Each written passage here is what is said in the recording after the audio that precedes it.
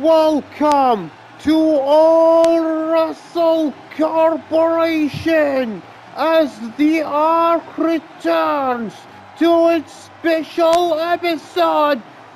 4